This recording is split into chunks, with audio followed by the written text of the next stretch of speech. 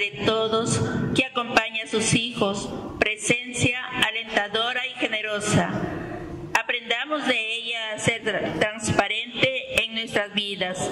Nos ponemos de pie, comenzamos esta celebración cantando.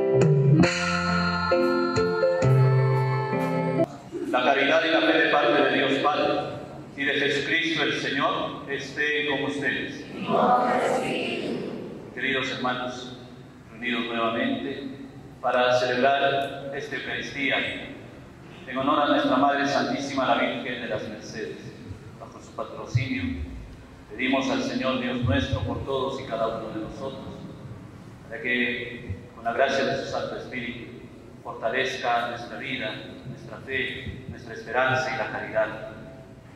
Esta Eucaristía en esta novena le ofrece algo industrial para Munga. Pedimos por todos y cada uno de ellos que elaboran esta empresa. Hermanos, para celebrar dignamente estos sagrados misterios, reconozcamos primero nuestros pecados.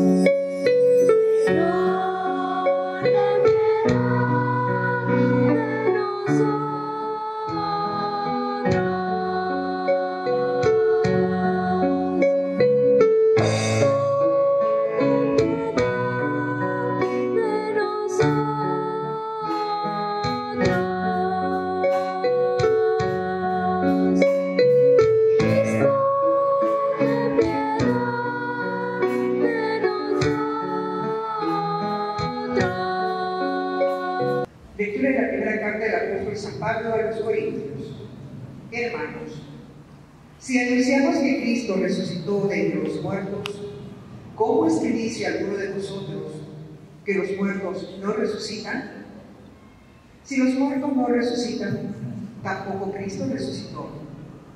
Y si Cristo no ha resucitado, nuestra predicación carece de sentido y vuestra fe lo mismo. Oído y escucha mis palabras. Muestra las maravillas de tu misericordia, tú que salvas de los adversarios a quien se refugia a tu derecha. Al despertar Señor, Señor. Guárdame como a las niñas de tus ojos, a la sombra de tus alas escóndeme. Pero yo con mi admiración vengo a tu presencia y al despertar me saciaré en tu semblante. Al despertar Señor. También ha habido otro grupo importante un grupo que puede pasar desapercibido y que a veces no se hace mucho hincapié. Son las mujeres, las discípulas del Señor Jesús. Ellas siempre están ahí. El evangelista dice, son aquellas que de alguna u otra forma han recibido alguna gracia de Dios. Y por eso es que continúan siguiendo, acompañando a Jesús y ayudándole. Sí.